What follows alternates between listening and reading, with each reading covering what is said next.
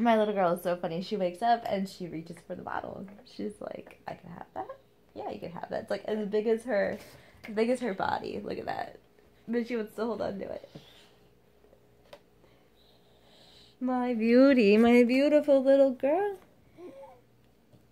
Good morning.